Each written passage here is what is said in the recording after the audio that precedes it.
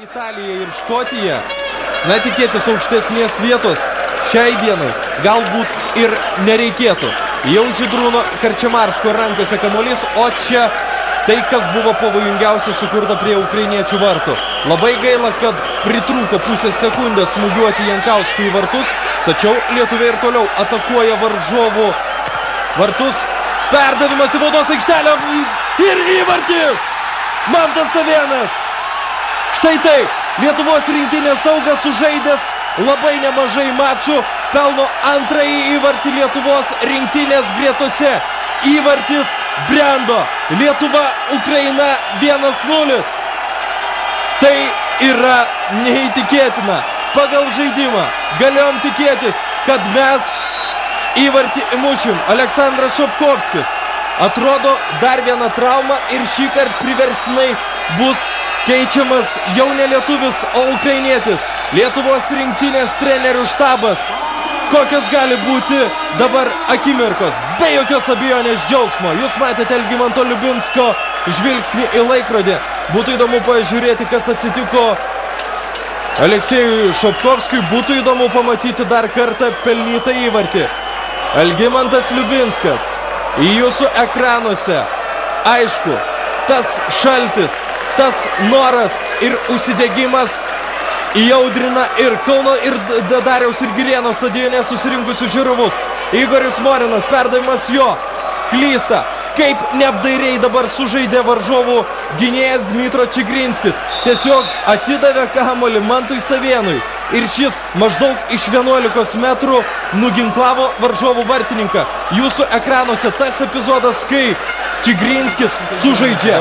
Sužaidė. Tai pabaigos lieka jau tik 60, atsiprašau, jau tik 25 minutės ir vis dar Lietuva pirmauja 1-0 ir na, bent jau iki šiol nėra panašu, kad ukrainiečiai galėtų išlyginti rezultatą. Taip, jie gali surenkti ataką, tačiau gali surenkti ataką ir lietuviai Tomas Danilevičius įvartis! Fantastika! Tomas Danilevičius 2-0. Lietuvos rinktinės polės muša antrąjį įvartį šios dienos rungtynėse. Tomas Danilevičius tampa rezultatyviausiu visų laikų futbolininku ir savo sąskaitą papildo 13 kartą.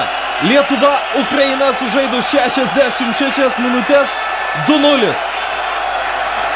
Malonu, tiesiog galima gerėtis tais vyrais, kurie šiandien vilki geltonus marškinėlius. Tomas Danilevičius pastebėjo, kaip iš vartų išbėgęs Andrėjus Petovas.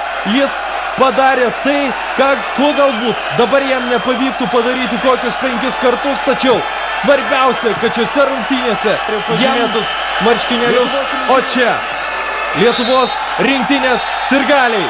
Tai yra viskas. Lietuvos kurie palaiko Lietuvos rinktinę, tie, kurie myli futbolą, galime triumfuoti. Mes šiandien nusipelnėme, kad nugalėtumėm Ukrainos rinktinę rezultatu 2-0. Mes šiandien triumfuojame. Paskutinį kartą pakartosiu, jog įvarčius nugalėtojams Lietuvos rinktiniai pelnė 41 minutę Mantas Savienas, štai jis jūsų ekranuose ir 67 minutę antrąjį įvartį puikių smūgių, puikių apgaulingų smūgių pelnė Tomas Danilevičius. Dar kartą jūs visus su pergalė. Mes išsilaikome penktoje vietoje ir jei trečiadienį nuskriaudžiam gruzinus, o ukrainiečiai pralaimi prancūzams, mes užimame ketvirtąją vietą. Šias malones, pergalingas ir kupinas teigiamų emocijų rungtynės jums padėjo stebėti Žinių radijo sporto naujienų redaktorius Aurimas Budraitis. Televizijos ekranuose dar įvarčiai, kuriuos pelnė Lietuvos futbolininkai. Likite laimingi ir nepamirškite, futbolas yra numeris vienas sporto šaka pasaulyje. Viso.